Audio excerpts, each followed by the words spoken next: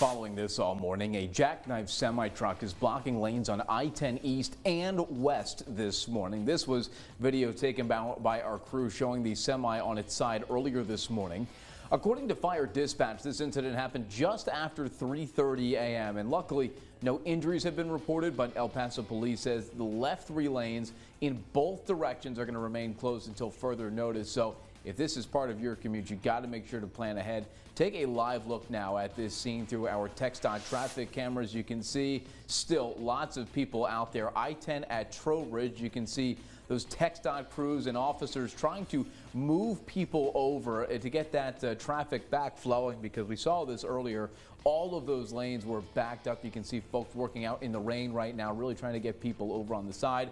This is the middle of the scene. You can see only a single lane letting traffic through. You can just barely make out that truck there amongst all those flashing lights that's tipped over on the side, kind of cutting off the median.